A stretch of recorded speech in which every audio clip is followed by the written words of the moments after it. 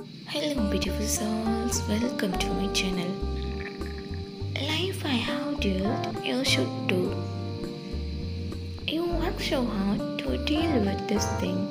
The fact that you have it and the problems it brings.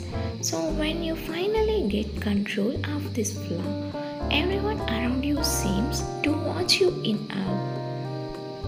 You never learn why it's happened to you, and you must work that much harder to make dreams come true. But what's happened has happened, and it's now part of life, so why give up in yourself while live with such strife? The best you can do is fight, back press as hard. Just be careful, make right choices, and play the right cards. They say, what does not kill you can only make you stronger. It's been here for a while, it will be here for a while longer. So, why cannot people see past this technicality? Having problems with my breathing is now my specialty. I should have a master's degree in what to do, so please don't treat me any different. I am just the same as you. When people have pity, it just makes me feel sad. Do you think it makes me feel better?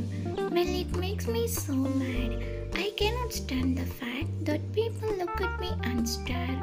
What you don't think I can see you? Oh, I know you are there. I know what I can. So why try to stop me? It's not up to you. If I want to work my ass off until death, let it be that way. Let me use my last breath.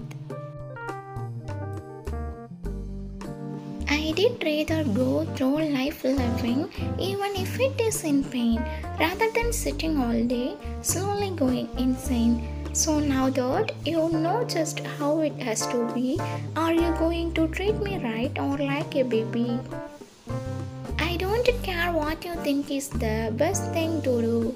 If you cannot support me and my choices, then the heck with you. You seemed to hear my silent voice and the love's to dream. I never saw such a sweet face as the one that stood before me my angels. There are two angels whom I know, but so glorious they seem to glow. When they smile, you don't need the sun, and that's not all, these girls are fun.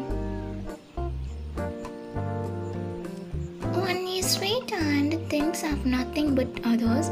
The second is strong and has many colors. My love for them grows every day. My closest friend forever I pray. Miss my angels when we are apart. They fill on emptiness that is in my heart.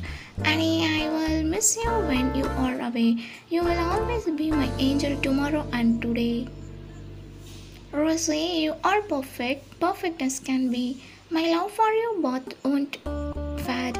This you will always and forever see. I remember our first kiss and think about our lost.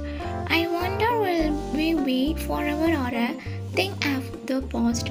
I wonder if you will be mine and will it last but if not, we can try again next time. Thanks for watching. Please do subscribe.